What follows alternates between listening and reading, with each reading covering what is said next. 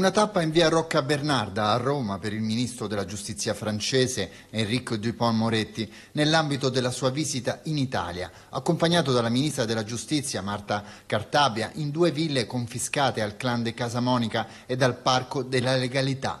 Una visita congiunta con la ministra dell'Interno Luciana Lamorgese ed il presidente della Regione Lazio Nicola Zingaretti la visita nelle stanze che furono ostentazione di sfarzo del clan, come in queste immagini di repertorio girate durante l'intervento delle forze dell'ordine. Spazi ora riconquistati grazie al lavoro della Regione Lazio per la collettività ed il quartiere, come il polo multifunzionale sull'autismo ed altre strutture. Un passaggio inedito delle istituzioni nella periferia della capitale, nell'ambito di un incontro di alto livello tra Italia e Francia, per mostrare dal vivo, parole della Guarda Sigilli, cosa significa la restituzione restituzione al territorio delle ricchezze illecite tolte ai clan.